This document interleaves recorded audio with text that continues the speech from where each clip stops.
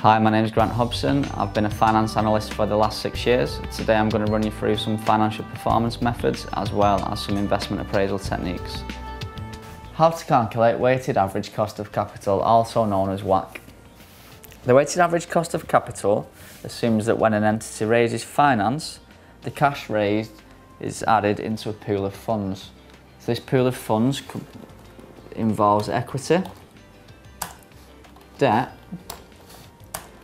and then also potentially preference shares.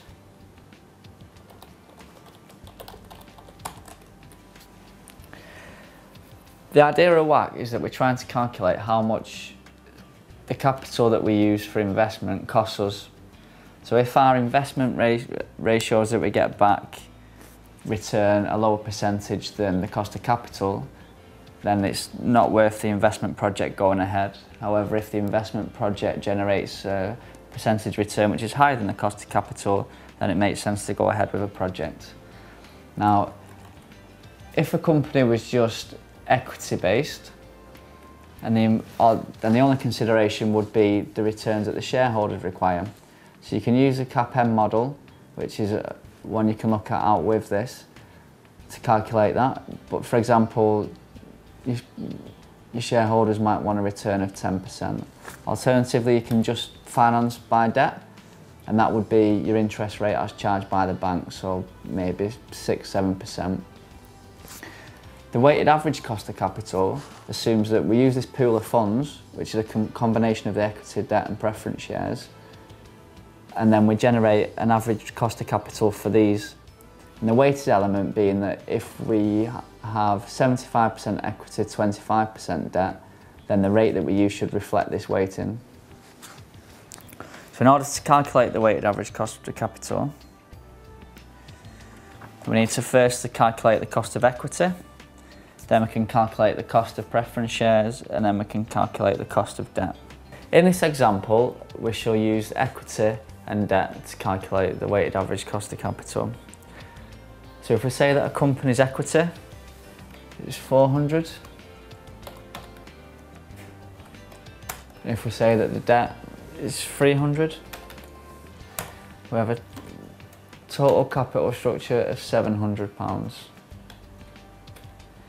Now in order to calculate the WACC, what we need to do is we need to know the equity rate, so this is what can be calculated using CAPM, or alternatively if you're looking at this in a question, then it will probably be provided. So in this example, we'll take 16% as the rate. And this is what our um, investors require a return of. For the debt, the £300 will take a rate of 8% and this is what the bank charges in interest.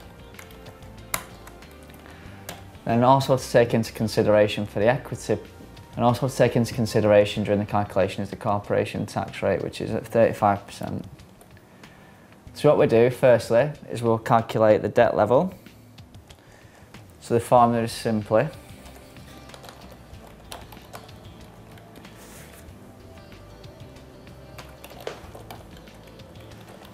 £300 of debt divided by the total 700. So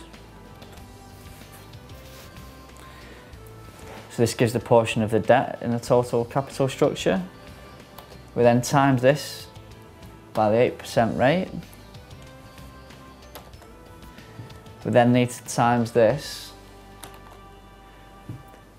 by 0.65. The 0.65 represents 1 minus the 35% tax rate. So 1 minus 0.35 to get to your 0.65.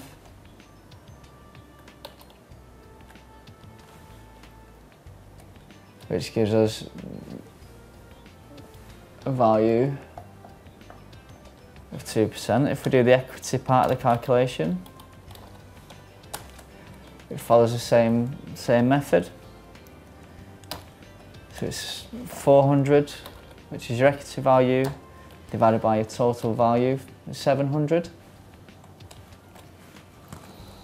And we times this by the rate that's required, which is 16%.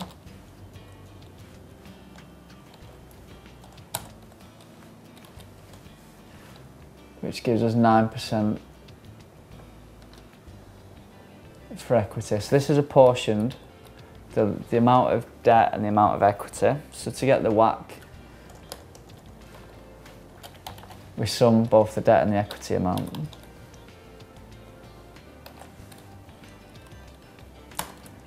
So the weighted average cost of capital in this example would be 11%. So what you'd do then is you'd consider this in relation to your investment calculations. So if, inve if you've considered in your investment analysis and your appraisal shown that you have um, a return greater than 11%, then it's a project that you should consider. If it's less than your cost of your capital, then you're making a loss, so you shouldn't consider the project.